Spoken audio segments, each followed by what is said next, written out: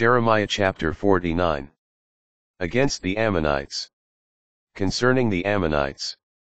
Thus says the Lord. Has Israel no sons? None to inherit?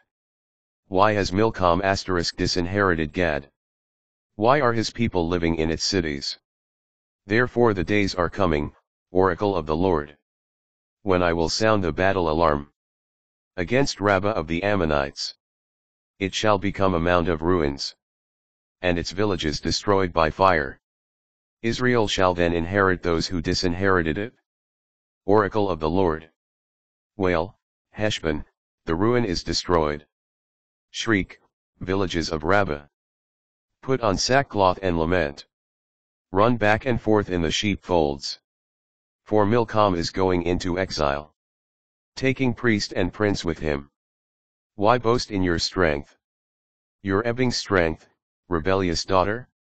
Why trust in your treasures, saying, Who would dare attack me? See, I am bringing terror upon you. Oracle of the Lord God of hosts. From all around you. You shall be scattered, each in headlong flight. With no one to gather the fugitives. But afterward I will restore the fortunes. Of the Ammonites, oracle of the Lord. Against Edom. Concerning Edom. Thus says the Lord of hosts. Is there no more wisdom in Teman? Has counsel perished from the prudent? Is there wisdom gone? Flee, retreat, hide deep for lodging. Inhabitants of Dedan. For I bring disaster upon Esau. When I come to punish them. If vintagers came upon you. They would leave no gleanings. If thieves by night, they would destroy as they pleased. So I myself will strip Esau. I will uncover his lairs so he cannot hide. Offspring and family are destroyed. Neighbors, too, he is no more. Leave your orphans behind, I will keep them alive. Your widows, let them trust in me. For thus says the Lord, Look, even those not sentenced to drink the cup must drink it. Shall you then go unpunished? You shall not. You shall drink every bit of it. By myself I have sworn, oracle of the Lord. Bozrah shall become an object of horror, a disgrace, a desolation, and a curse. Bozrah and all its cities shall become ruins forever. I have heard a report from the Lord. A herald has been sent among the nations. Gather together, move against it. Get ready for battle. I will make you the least among the nations. Despised by all people, J. The terror you spread. The pride of your heart, beguiled you. You denizens of rocks and crevices. Occupying towering peaks. Though you build your nest high as the eagle. From there I will bring you down, oracle of the Lord. Edom shall become an object of horror.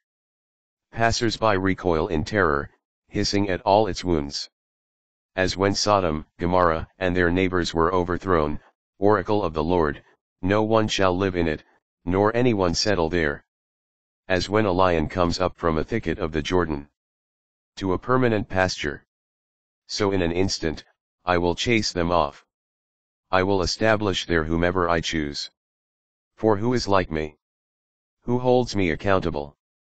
What shepherd can stand against me? Therefore, listen to the strategy. The Lord devised for Edom. The plans he has drawn up. Against the inhabitants of Teman. They shall be dragged away, even the smallest of the flock. Their pasture shall be aghast because of them. With the din of their collapse the earth quakes. To the Red Sea the outcry is heard. Look! Like an eagle he soars aloft. And spreads his wings over Bozrah. On that day the hearts of Edom's warriors become like the heart of a woman in labor. Against Damascus. Concerning Damascus. Hamath and Arpad are shamed. For they have heard bad news. Anxious, they surge like the sea. Which cannot calm down. Damascus loses heart, turns to flee. Panic has seized it. Distress and pangs take hold. Like the pain of a woman in labor. How can the glorious city be abandoned? The town of joy. but now its young men shall fall in its squares. All the warriors destroyed on that day. Oracle of the Lord of hosts. I will set fire to the wall of Damascus. It shall devour the palaces of Ben-Hadad. Against Arabia. About Kedar and the kingdoms of Hazor, which Nebuchadnezzar, king of Babylon, defeated. Thus says the Lord. Rise up, attack Kedar.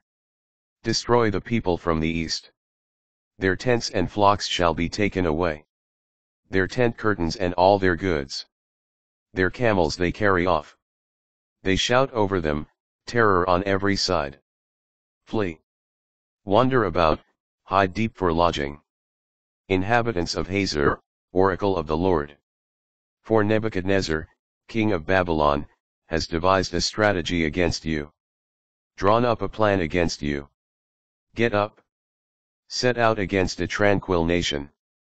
Living in security, oracle of the Lord. Without gates or bars. Dwelling alone. Their camels shall become spoils. Their hordes of cattle, plunder. I will scatter to the winds those who shave their temples. From every side I will bring their ruin. Oracle of the Lord. Hazor shall become a haunt for jackals. A wasteland forever. Where no one lives. No mortal stays. Against Elam. The word of the Lord that came to Jeremiah the prophet concerning Elam at the beginning of the reign of Zedekiah, king of Judah. Thus says the Lord of hosts. Look. I will break the bow of Elam. The mainstay of their might. I will bring upon Elam the four winds. From the four ends of the heavens.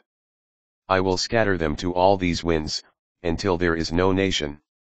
To which the outcasts of Elam have not gone. I will terrify Elam before their foes. Those seeking their life. I will bring evil upon them. My burning wrath, oracle of the Lord. I will send sword after them. Until I have finished them off. I will set up my throne in Elam. And destroy from their king and princes. Oracle of the Lord. But at the end of days I will restore. The fortunes of Elam, oracle of the Lord.